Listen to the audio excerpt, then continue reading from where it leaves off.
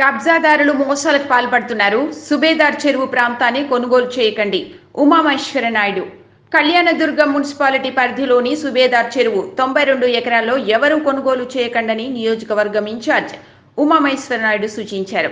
సుబేదార్ చెరువు ప్రాంతాన్ని మంత్రి అనుచరులు అక్రమంగా పూడ్చివేస్తున్నారని గత రెండు నెలల నుంచి రైతుల సహకారంతో తెలుగుదేశం పార్టీ ఆధ్వర్యంలో ఆందోళనలు చేపట్టిన సంగతి తెలిసిందే. అయితే అధికారులు కూడా సరిగా స్పందించుకోవడంతో ఉమామహేశ్వర నాయుడు హైకోర్టును ఆశ్రయించారు. ఈ నేపథ్యంలో ఉన్నత న్యాయస్థానం ఎటువంటి కార్యకలాపాలను చెరువు ప్రాంతంలో చేపట్టకూడదని స్పష్టం చేయడంతో అధికారులు ఆ ప్రాంతంలో బోర్డు ఏర్పాటు చేశారు.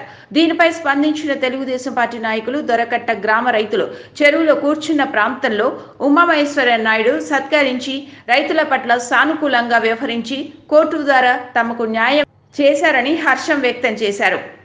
ఈ సందర్భంగా ఉమామహేశ్వర నాయుడు మాట్లాడుతూ మంత్రి ఆగడాలను ఎండకట్టారు మూడు వందల ఇరవై తొమ్మిది సర్వే నెంబర్లు ఎటువంటి కొనుగోలు చేయకూడదని ఈ ప్రాంత ప్రజలకు ఉమామహేశ్వర నాయుడు సూచించారు.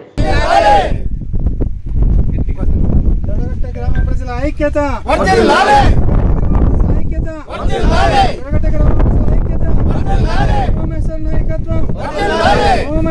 నాయకత్వం. నాయకత్వం! జై తెలుగుదేశం. జై జై తెలుగుదేశం! జై తెలుగుదేశం.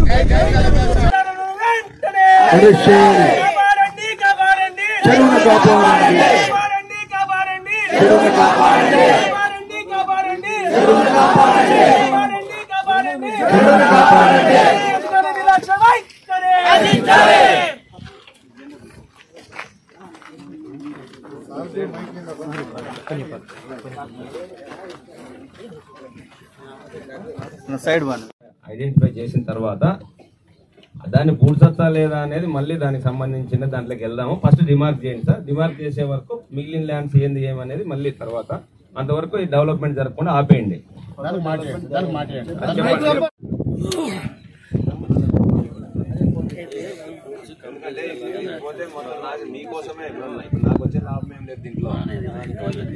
నియోజకవర్గంలో మున్సిపాలిటీ నడిబొడ్డున ఉన్నటువంటి తొంభై రెండు ఎకరాల ఎనభై ఒక్క సెంట్ల సుబేదారి చెరువును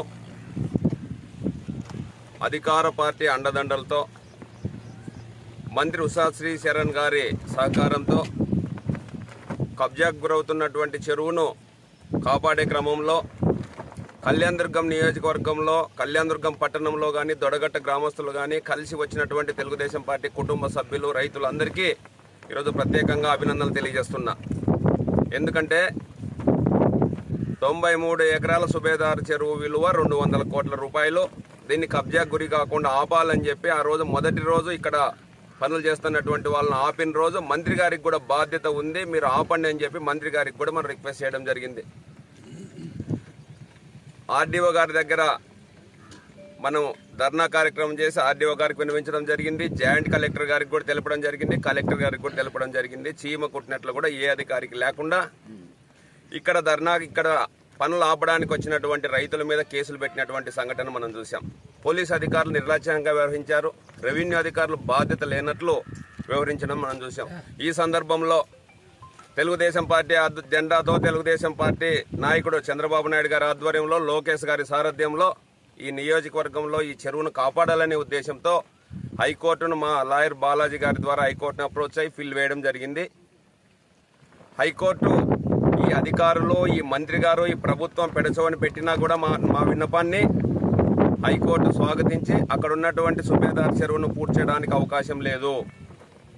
దాన్ని వెంటనే నిలుపుదల చేయండి అని చెప్పి రాష్ట్ర రెవెన్యూ సెక్రటరీకి కలెక్టర్ గారికి ఆర్డీఓ గారికి నోటీసులు జారీ చేసి నిలిపేసినటువంటి సంఘటన చూసాం ఆ తర్వాత నిన్నటి రోజున వచ్చేసి కలెక్టర్ పేరు మీద ఒక బోర్డు పెట్టడం జరిగింది. అంటే ఈ కళ్యాణదుర్గం నియోజకవర్గంలో కబ్జాదారుల నుంచి కాపాడడంలో ప్రభుత్వ ఆస్తులు కాపాడడంలో ఖచ్చితంగా తెలుగుదేశం పార్టీ ఆధ్వర్యంలో ప్రజలకు మద్దతుగా మేము ఉంటామని చెప్పి సందర్భంగా మరొకసారి తెలియజేస్తున్నాం. ఇది తెలుగుదేశం పార్టీ విజయంతో పాటు ఈ ప్రాంతంలో ఉన్నటువంటి రైతులు కళ్యాణదుర్గం నియోజకవర్గ కళ్యాణదుర్గం పట్టణంలో ఉన్నటువంటి ప్రజల విజయంగా నేను ఈరోజు తెలియజేస్తున్నా. ఎందుకంటే ఈ చెరువు పూడిస్తే వందలాది మంది రైతు వేలాది మంది రైతులు బోర్లలో నీళ్ళు ఇంకిపోయే ప్రమాదం ఉంది. పట్టణంలో ఉన్నటువంటి వర్షం నీళ్ళన్నీ చెరువులేకి రాకోకుండా ఆగడం వల్ల పట్టణం జలమయమయ్యే అవకాశం ఉంది అని చెప్పి మేము కోర్టుకు తెలిపినప్పుడు కోర్టు దాన్ని స్వాగతించి చేసినందుకు ప్రత్యేకంగా న్యాయస్థానానికి ధన్యవాదాలు అభినందనలు తెలియజేస్తున్నాం. ఇప్పటికైనా కూడా ఈ మంత్రి గారికి బాధ్యత లేకుండా వ్యవహరించడం వల్ల ధన్యవాదాలు అభినందనలు తెలియజేస్తున్నాం. ఇప్పటికైనా కూడా ఈ మంత్రి గారికి బాధ్యత లేకుండా వ్యవహరించడం వల్ల ఈ సమస్య ఇంతవరకు వచ్చింది. ఈ నియోజకవర్గంలో ఓట్లు వేయించుకున్నటువంటి ప్రతి ఒక్కరికి బాధ్యత ఉంది అనే ఉద్దేశంతో నేను ఓడిపోయినా కూడా మంత్రి గారికి అఫీల్ చేశాం అధికారులకు విన్నవిచ్చాం ధర్నాలు చేశాం రాత్రి కూడా ఇక్కడే పనుకున్నాం. కానీ ఎవ్వరూ ఈ జగన్మోహన్ రెడ్డి గారి ప్రభుత్వంలో మొద్దు నిద్ర మొద్దు నిద్రపోతున్నటువంటి ఈ అధికార యంత్రాంగాన్ని ప్రభుత్వ ఆస్తులు కబ్జా చేస్తున్నటువంటి ప్రజాప్రతినిధులకు కనువిప్పుగా ఈ రోజు కోర్టు తీర్పు వచ్చిందని చెప్పి సందర్భంగా మరొకసారి తెలియజేస్తున్నా. ఈ కళ్యాణదుర్గం నియోజకవర్గంలో ప్రజలకు మరొకసారి తెలియజేస్తున్నా. ఈ తొంభై రెండు ఎకరాల ఎనభై మూడు వందల ఇరవై తొమ్మిది సర్వే నంబర్లో తొంభై రెండు ఎకరాల ఎనభై ఒక్క సెంట్ల భూమిలో ఏ ఒక్కరూ లావాదేవీలు జరపద్దండి కొనొద్దండి. ఎందుకంటే ఇది ప్రభుత్వ ఆస్తి. ఈ చెరువును చాలా మంది కబ్జా చేసి ప్లాట్ల రూపంలో వేసి అమ్ముకునే దానికోసం సొమ్ము చేసుకునే ప్రయత్నం చేస్తున్నారు. ఎటువంటి పరిస్థితుల్లో కళ్యాణదుర్గం నియోజకవర్గంలో ఉండే ప్రజలు నష్టపోకూడదనే ఉద్దేశంతో మరొకసారి వాళ్ళకి అఫీల్ చేస్తున్నాను.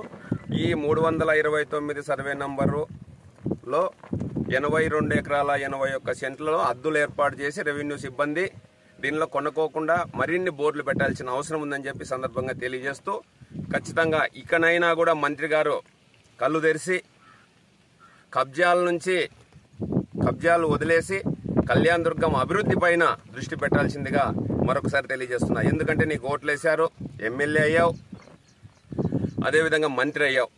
మంత్రి అయిన తర్వాత కబ్జాలు పెంచుకో